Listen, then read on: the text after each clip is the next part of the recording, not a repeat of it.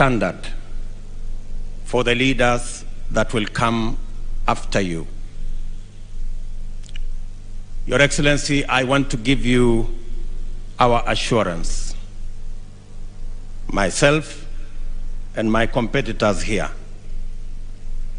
that we will build on the legacy that you have set, and we will ensure that nothing that you will leave behind is left incomplete.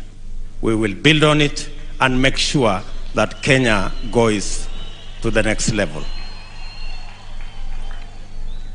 Your Excellency, I assure you that as your deputy for the last nine years, God willing,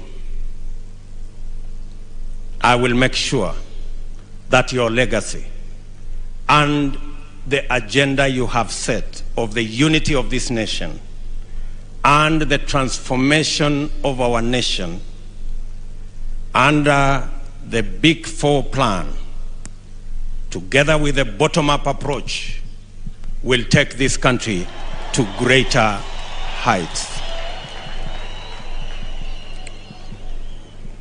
Your Excellency, this is a very important day for us as a nation. And you have set the standard for us.